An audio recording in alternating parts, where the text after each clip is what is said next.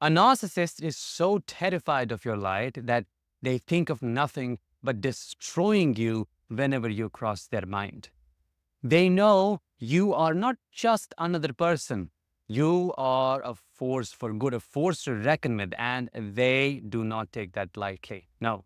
That's why being entangled with a narcissist is not just psychological, it is spiritual warfare. They see the light within you and it burns them, reminding them of everything they lack and everything they can never be.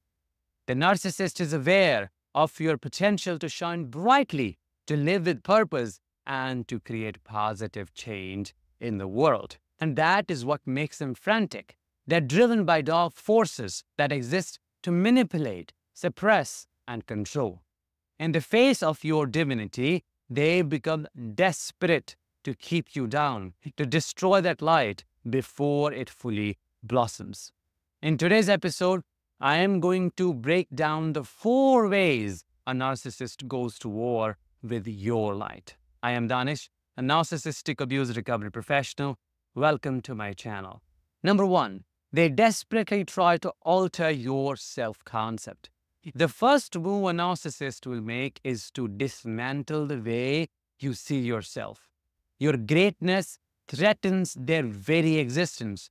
So they will stop at nothing to convince you that you aren't as good as you truly are. They know that your light shines brightly and it casts an uncomfortable glare on their darkness, their insecurities, their lack of integrity, and their deep self loathing. They will chip away at your confidence by projecting their own flaws onto you. You will hear statements like, you are not that amazing. Come on, you're not you're so full of yourself. You think you are better than everyone? These aren't just projections. They are part of a calculated strategy to make you question your own value. Slowly, they will try to rewrite your brain into believing these lies. They want you to stop trusting your gut, to disconnect from your inner wisdom, and to internalize this false image they have crafted for you. The less you believe in your true self, the easier it is for them to manipulate and control you. And that is the whole goal to break your connection with your light so you are more dependent on them for your sense of worth. Number two, they block your divine calling. Narcissists do not just aim to knock down your self esteem, no. They want to keep you from fulfilling your soul's purpose. Very important. They see your potential, your mission, and they are terrified of it. Whether your purpose is to inspire, heal, create, or uplift others, they know that your light will make an impact on the world around you, and that is a problem for them.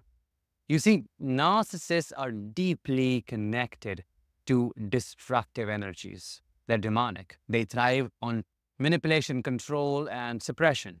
If you step into your divine calling, if you live out your true purpose, you represent everything they stand against. So, what do they do? They sabotage your journey. They keep you entangled in their chaos, creating endless distractions, emotional traps, and unnecessary drama. Every time you focus on their games, you lose precious time that could be spent living your purpose. It is intentional. They want you so consumed with putting out fires that you can't even think about your dreams.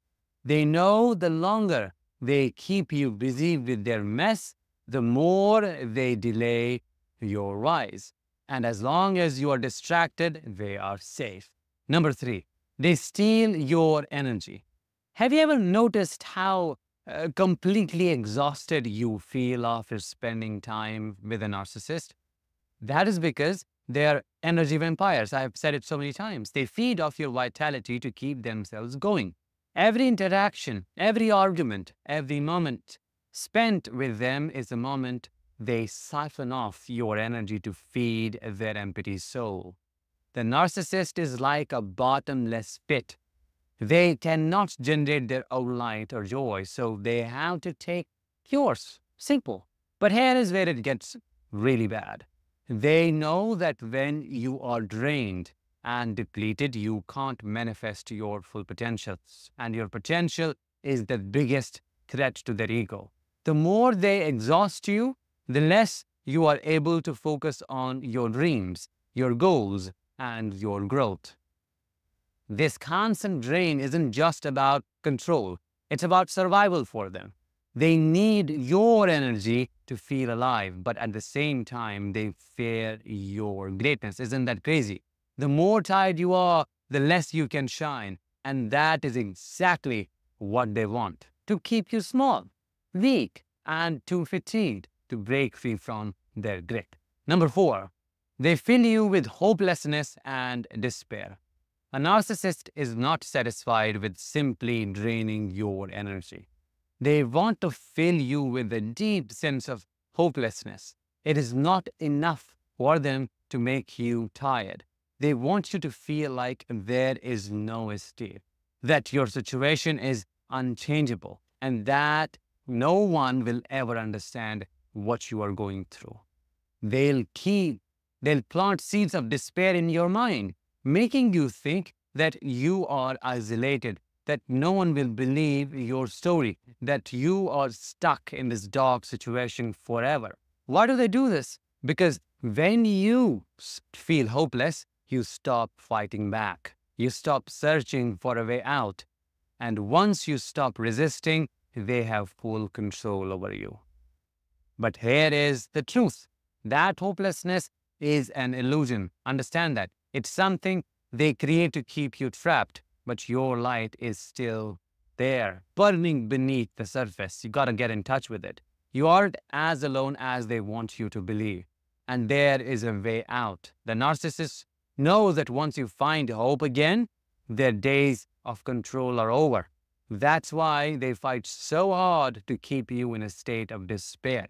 Because they know that as long as you believe in your power, they have no hold over you. That was number four. I hope you found this episode insightful and uplifting. If you did, let me know in the comments and share your experiences. I will talk to you in the next one. Until then, as always, let the healing begin and continue.